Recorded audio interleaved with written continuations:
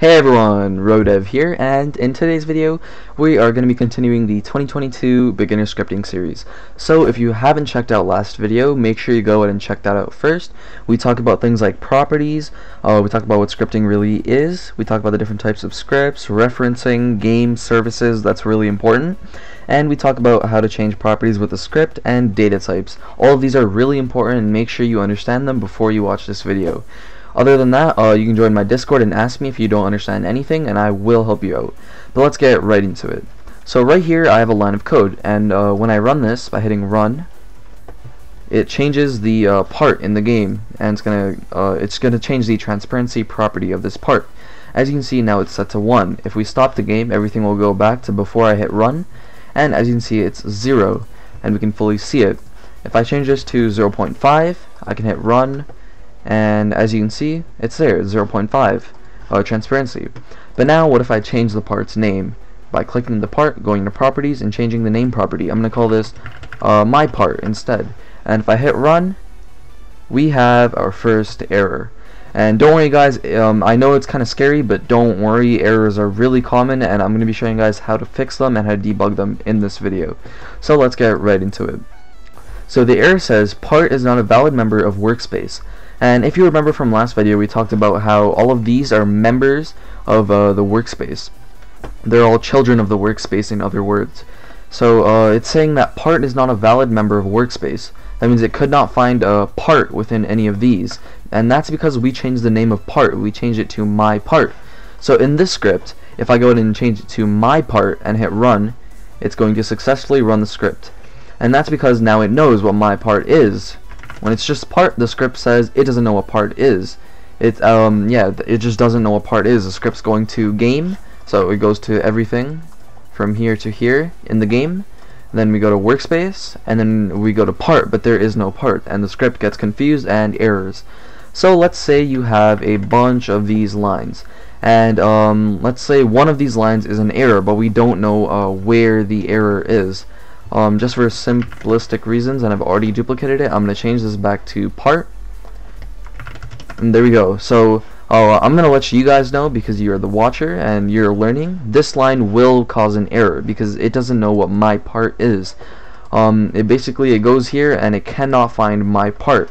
So if I hit run as you can see we have an error and basically um, we're going to talk about debugging using print statements. So if you didn't know yet you can actually type print and then uh, two normal brackets by um, hitting shift and 9 it'll make two. And then again we can't just type a script is running. Obviously it doesn't know what any of these words mean. It's a string. So we actually need to put it inside uh, speech marks. So for that you can go ahead and create two speech marks um, outside the string so by the way if it's like this and you can't get rid of one just go to the outside of it to the last one and then hit backspace. That should help a few people. But now you can see um, it's in speech marks and this is a string. So without the speech marks the script doesn't know what we mean but with the speech marks it knows exactly what to do. So if I hit run as you can see it says script is running but then the error happens on line 5 it actually tells you here. But we're gonna pretend it doesn't tell you and I'll show you guys how to debug. So it says script is running then it errors so let's insert another one of these on every line. Or not every line, but let's say um, uh, executed line 2. Let's put another one over here. Executed line 5 because um, this after it finishes this line and executes this line it's gonna come here and we can also go over here and put one that says executed line 7 and then one at the end and it's gonna say finished running the script. Let's hit run and see what happens.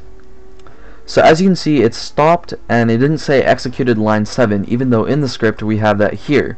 So we know between this print statement because this one ran and this print statement because this one didn't run or didn't run um, there was an error. Luckily for uh, for us, there's only one line of code in between those, so we know this line of code is the one with the error. We can also confirm that by clicking on here, and as you can see, it takes us straight to line 7, or looking over here, it says line 7, we can go to line 7, and we can see. So now, what is the error? For that, we can just take a look at the line. and I see that my part is not a valid member. And by the way, if you don't know what the error is, you can pretend to be the script. So we executed line 5, so we printed that. Now I am the script. I'm going to go to game, I'm going to go to workspace, I'm going to go to my part. Oh wait, there's no my part. So the script is going to throw an error and stop because the script doesn't know what my part is. And so there we go. The script stops and it doesn't want to continue because um, it erred. So you can imagine how errors are a really, really big issue. Basically, um, say you had a game loop. So for games like murder mystery games or racing games, where you you know loop the game after it finishes, this can cause a really big issue because if there's an error in your game loop, um, you know, the script will stop and there will be no more loops. So the game's gonna not, it's just not gonna run simply. So that could be a really big issue. Imagine the game just stops working and everyone just leaves because they're bored and the game isn't running. So errors are a really big issue and that's why we have Roblox Studio to test the game before we publish it. And right here we can see there's an error. So let's actually go ahead and fix this error. For this, I'm going to change this to part and the script will run perfectly as you can see. Uh, I'm going to quickly change this one to 1 so we know if the if the script successfully made it here, the part should be invisible, and this print statement will actually run. There we go, it's invisible, and the print statement ran. It said finished uh, running the script, so we know everything's working. But other than that, that's basically how the script works. Uh, one more thing I do want to go over is how scripts execute. So the script will go line by line. Right here, it's going to read the first line, it's going to run it, it's going to go to the second line, and obviously it, it ran and it's going to go to the third line it's going to run it as you can see right here and it's going to go to the fourth line it's going to run that. Fifth it's going to run that. Sixth it's going to run that as it did over here. And it's going to go on and on and on. Unless you have a loop it will go back to the top but that's for another video. But other than that guys that is how uh, debugging works and how print statements work. And yeah now you guys know how debugging and print statements work Make sure you like, comment, and subscribe, and make sure to join the Discord server, and you can ask me anything you'd like about scripting, and I will answer you. Just make sure you go ahead and ping me. Well, other than that, guys, it's Rodev. I'll see you in the next one. Peace.